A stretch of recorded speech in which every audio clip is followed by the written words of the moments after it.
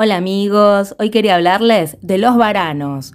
Un estudio basado en una nueva especie fósil varánida de China muestra que la transición de los antiguos varaniformes al género Varanus ocurrió en Asia y respalda el origen asiático de los varánidos. Este estudio fue realizado por investigadores del Instituto de Paleontología y Paleoantropología de Vertebrados de la Academia de Ciencias de China y sus colaboradores del Reino Unido y de Suiza.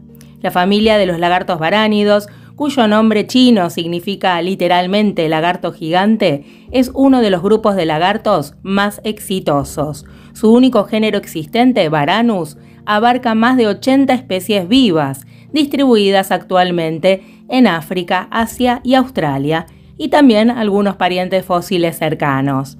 Se acepta comúnmente que los varánidos se originaron a partir de varaniformes del Cretácico superior en Eurasia, con fósiles bien conservados, informados del Cretácico superior en el desierto de Gobi, en Mongolia y en China.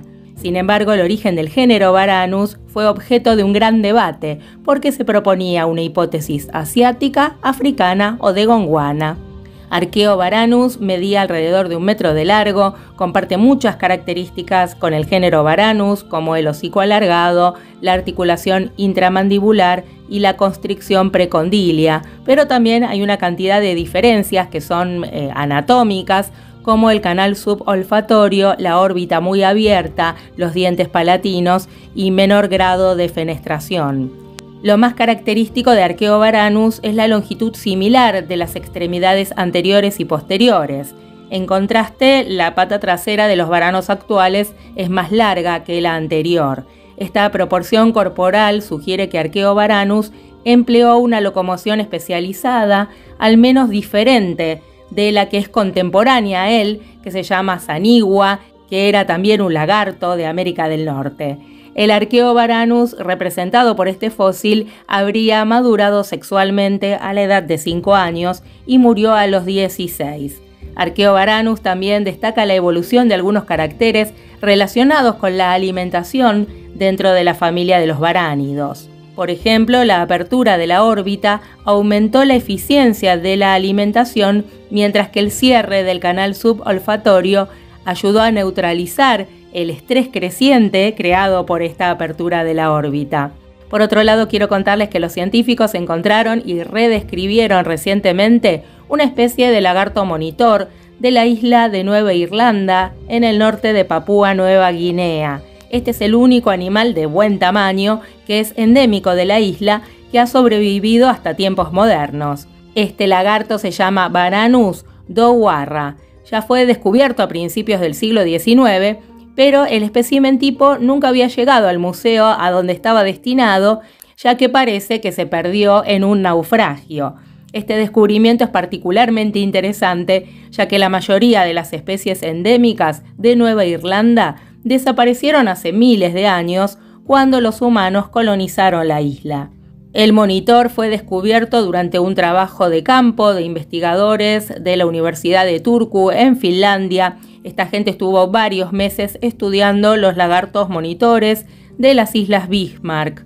Puede crecer hasta más de un metro con treinta de largo y según la información actual es la única especie grande superviviente endémica de la isla. Con base a los descubrimientos de huesos, los científicos saben que por lo menos una especie de rata grande y varias aves no voladoras también vivían en el área.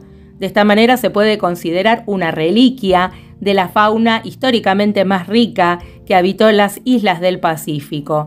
Estos monitores del Pacífico de tamaño mediano claramente son más tolerantes o mejores para coexistir con los humanos que muchas aves y mamíferos que fueron depredados por las personas que llegaron primero a estas islas.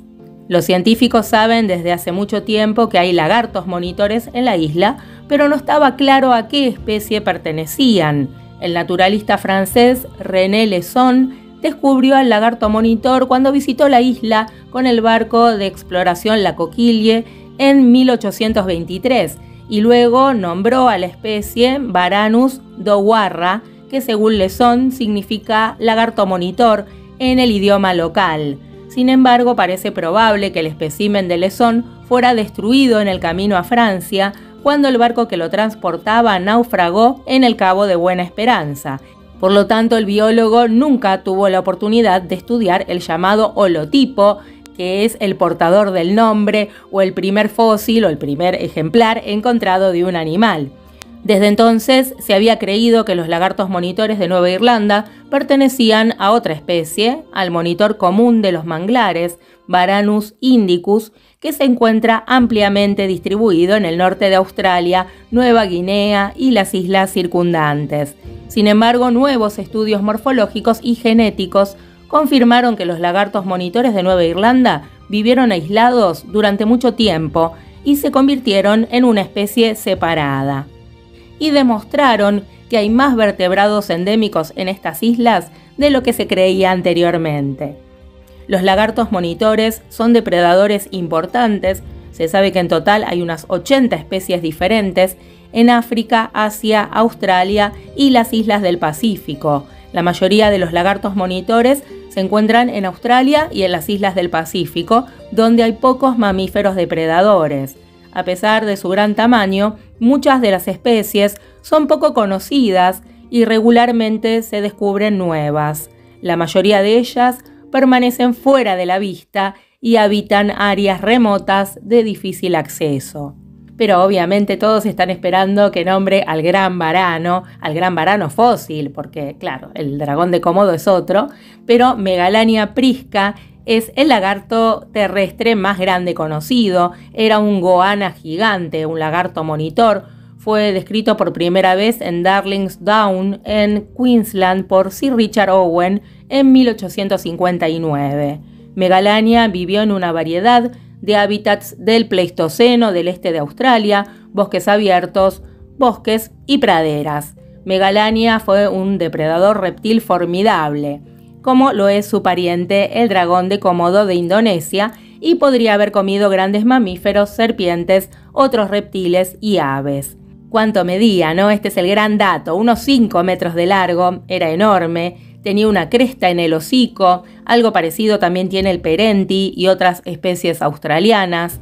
Los dientes de Megalania eran afilados y recurvados, con esmalte arrugado y doblado. Tenía pequeños huesitos u osteodermos incrustados en la piel del hocico y de la nuca. Su esqueleto postcraneal es poco conocido, pero sus proporciones, por ejemplo en el brazo, son diferentes a las de otros monitores. Megalania estaba ampliamente distribuido en gran parte del este de Australia, pero los fósiles completos son raros. Extrañamente no se lo conoce en Tasmania, Australia Occidental o Nueva Guinea. Los parientes más cercanos de Megalania son otras goanas o lagartos monitores. Se cree que el más estrechamente relacionado sería el perente australiano, Varanus giganteus, pero se ha propuesto también una relación muy importante con el dragón de Komodo. Sin embargo, esto más tendría que ver con el tamaño. Como los fósiles son bastante raros e incompletos, las hipótesis de relación pueden cambiar con el descubrimiento de nuevo material fósil. A menudo se han encontrado restos de Megalania con fósiles de animales grandes como canguros. Esto sugiere que Megalania comía y capturaba presas grandes. Si tomamos como ejemplo al dragón de Komodo, estos consumen grandes mamíferos, incluidos ciervos, jabalíes y cabras. Al igual que otros varánidos, también puede haber sido un carroñero, también un depredador de emboscada, cuya saliva tóxica habría causado infección y muerte a sus víctimas. A pesar de su gran tamaño, Megalania habría necesitado mucho menos para comer que un depredador mamífero de tamaño comparable.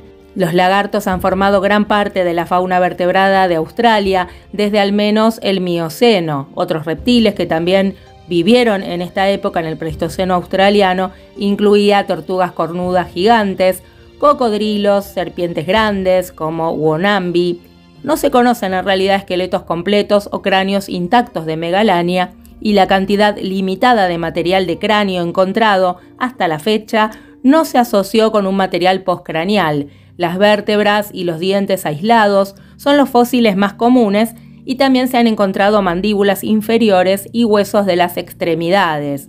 Se encontró un húmero, que es el hueso de la parte superior del brazo, de un varánido muy grande y esto se ha atribuido probablemente a un megalania juvenil. en las cuevas de Nara Coorte, en el sur de Australia. Los varánidos están muy relacionados con las serpientes. La evidencia molecular sugiere que los varánidos evolucionaron durante el Cretácico inferior, entre 140 y 100 millones de años, aunque todavía no hay una evidencia fósil de esto. Los varánidos habrían llegado a Australia desde Asia a través de microcontinentes que existieron entre estas dos masas de tierra desde el Cretácico inferior. Bueno amigos, espero que les haya gustado la información que les traje hoy sobre los varánidos y si les gustó, los espero de nuevo otro día. Un fuerte abrazo.